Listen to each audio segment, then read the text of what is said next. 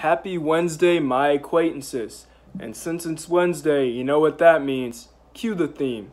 Double dubs. of Augustine II. Hey, Wing Wednesday, bring all your friends day. Sauce on my cheeks, it is ranch and blue cheese, Wing Wednesday. I hope you guys like the new intro. It's just something I made, I thought it would be fun. But on a real note, today, as you saw in the intro, we will be doing Hooters. Um, now, I won't lie, I've been to Hooters before. I've been to Hooters on many occasions, and the problem I've always had is consistency. The wings are not always the same. Sometimes they go in the really good, sometimes they go in the really bad, and that goes with all of the all of the parts of the wing. The sauce tastes a little iffy. It's not covered as much on the wings. They're not as crispy. The meat isn't as good. There's just a level of inconsistency that I've come to expect with Hooters. Um, but I called them up and I said, hey, what's your most popular wing? And she said, wow, you sound really good, but do you like my phone number? I said, wow. Let's let's just just tell me your favorite wing. She goes Daytona Beach. So Daytona Beach is the most ordered wing. I've never had their Daytona Beach. I've had a lot of their sauces. I've never had their Daytona Beach. That's what we're gonna be trying today. I got an eight count of Daytona Beach wings. Um, it was eleven ninety nine, so it's a little pricey for an eight count. So I'm expecting good quality. Uh, the Gist wings were a lot cheaper, and they're still at the top rank. You know, and an eight point two rating is our top wing. So I'm expecting at least higher sevens or low eights for these for the price. So without further ado, let's get into it. Here we go. What's that? See, I knew the girl on the phone like couldn't get enough of me. So she sent me a picture of herself. I scribbled out her face to be nice. Um, but wow. Okay, like that's that's just classless. All right, I go to Hooters not for the women like many people do. When it comes to places like that, a lot of places do. Uh, we got boobs. We have the hottest girls. All right. When I go to a wing place, all I care about is how good the wings are. You could have men in speedos serving me wings. If they're good wings, I'll be back every Wednesday, right? Because it's Wing Wednesday.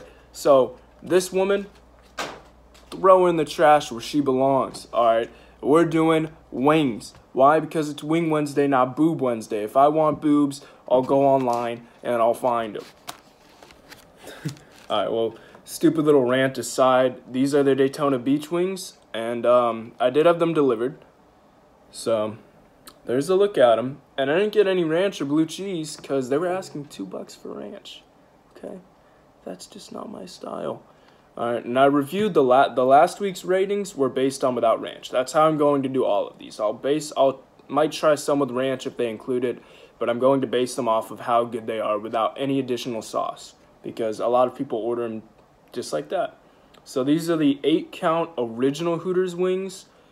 Um, Daytona Beach, the most popular sauce. I think they also give me some extra Daytona Beach on the side and Daytona Beach seasoning as well. But uh, without further ado, let's go in starting with a flat.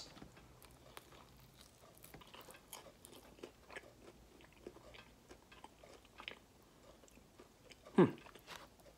They did give me napkins, so I'm gonna try and limit the sauce on my cheeks here. Because you know, they don't call me the sauce boss for nothing.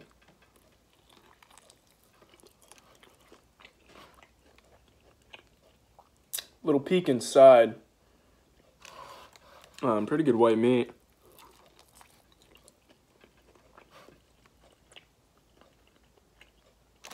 Alright, so that's a flat. I'm just going to try a drum so I can see the difference between the two styles.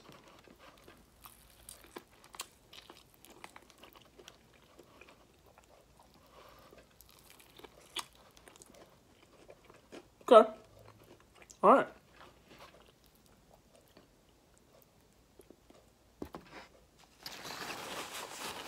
They're very saucy this time, and honestly, I have to say,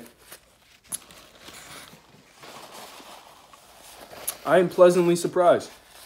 Um, like I said, with the consistency, this time they came through. These are good wings. And the sauce, Daytona Beach, is really good. I can see why it's one of their most popular or their most popular. Um, they're really crunchy. It's good white meat chicken. The sauce has a nice tang and then a nice spicy aftertaste. It's really good. I don't know exactly what's in it, but he hit like a sweet mild right away, and then the heat pumps up, and it's a really nice kick. Um, but yeah, on a scale of 1 to finger licking good, 10, I would give these a 7.9. Just under that 8 because the it's just they're really good, but they're not you know, they're not pushing it for me. They're not pushing that boundary to get above 8, but a 7.9 is still really good. And I have to give a shout out to Anna Whitty. Um, she went on my TikTok, which will be linked in the bio, and she said, do Hooters next. And she said she's had bad experiences with them, but Anna, trust me, if they deliver them like this every time, you have to give them at least one more shot. Come on, for the show. Um, but yeah, that is the review, guys. 7.9 out of 10 for the Daytona Beach style 8 count Hooters wings. And these are the traditional wings, not the naked style or uh, boneless, traditional wings. Um, yeah, that's pretty much it. So these are our second best wings. They got higher than the apple barbecue, but they're right under the honey chipotle. So, as I said, guys, I really appreciate you watching this episode of Wing Wednesday. I loved all the positive feedback I got on the first episode. I really appreciate it, and I love making this style of videos. And I love wings, and I love making videos that you guys enjoy. So, go ahead and comment down below, or go to my Instagram, DM me, go to my Twitter. I'm going to be posting polls of places that I want to go next go anywhere and just tell me, hey, you need to try these out. And I would love to check them out for you guys. So I really appreciate it, guys.